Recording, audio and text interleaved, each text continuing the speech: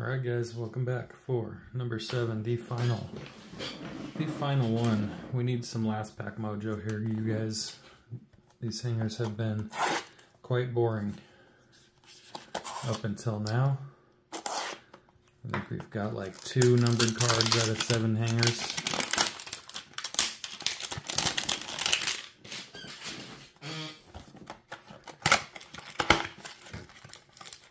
Or at least a big yellow parallel hit, something.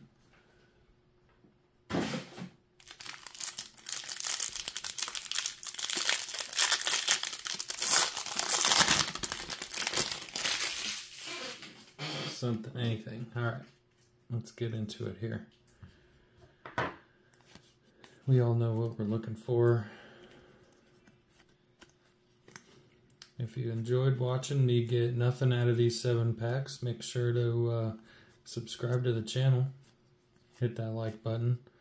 Uh, it'll make me at least feel better. Uh, there's, I guess in that previous one, there was one of these. Must not be a short print, otherwise I got the exact same students here.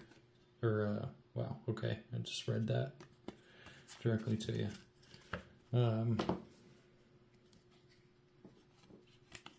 I still got the exact same player, you know, card layout in here, uh, which, you know.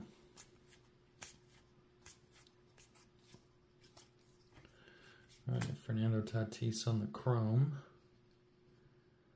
No backwards, but we got a rookie on the 89. And a Grand Gamers, yeah, just normal inserts. So another blue parallel. Cool. Edwin Diaz. A backwards card. Rainbow. Davis Schneider. Jake Rogers. J.P. Crawford. And an Endy Rodriguez. Horribly centered. Wow, that's really bad. All right. There's those. Regular base Grand Gamers.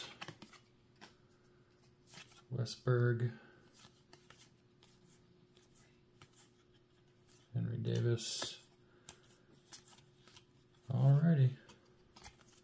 That brings us to the end of all seven hangers.